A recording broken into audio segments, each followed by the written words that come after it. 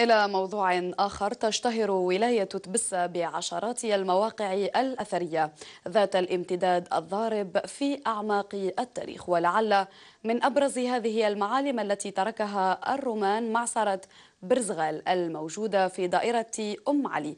سليم دريد والمزيد من التفاصيل. تعتبر معصرة برزقال أحد أهم المعالم الأثرية التي شيدها الرومان في ولاية تبسة حيث تم إنجازها بطريقة فنية رائعة تنم عن هندسة معمارية متحكم فيها من قبل الإنسان القديم. هذا الإنسان الذي فكر في تشييد وحدة تعمل على عصر الزيت واستخراجه من الزيتون رغم عدم توفر أي وسائل أو تكنولوجيا إلا أن هذا المعلم الذي يشكل صرحا لا يستهان به يعاني اليوم التهميش والإهمال.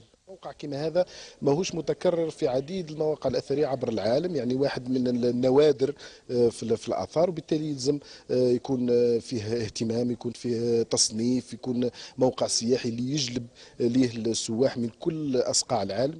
إنها فعلا أمنية الجميع. المتمثلة في تحول هذا المعلم الأثري النادر ذات الامتداد الضارب في أعماق التاريخ إلى فضاء سياحي متميز ومهيأ بأشغال تأهيل وهو ما تسعى إليه الوصاية حسب تصريح ممثلها. مشروع جرد جرد لهذه الممتلكات الممتلكات العقارية اللي كما مواقع أثرية من بينها برزقان برزقان مصنفه وطنيه يعني وراح إن شاء الله بإذن الله راح نحدوا نحدوا آه، الأماكن تاع التدهور اللي التدهور اللي يحدث لها وإن شاء الله راح نديروا حلول تدخل. وإلى غاية تدخل عاجل وجاد يعمل على إعادة الاعتبار وتوفير المكانة اللائقة لهذه التحفة غير المتكررة.